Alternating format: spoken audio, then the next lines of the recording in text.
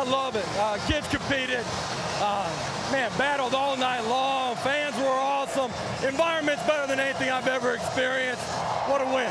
At one point, we didn't even know if Hendon Hooker was healthy enough to come in. What can you say about your quarterback's performance tonight? He was electric all night long. Unbelievable job throwing the football. Used his speed opportunistically, man, and just competed, man. And everybody fed off his, uh, his energy on the offense side of the ball. Hell of an effort by him tonight. This is an incredible environment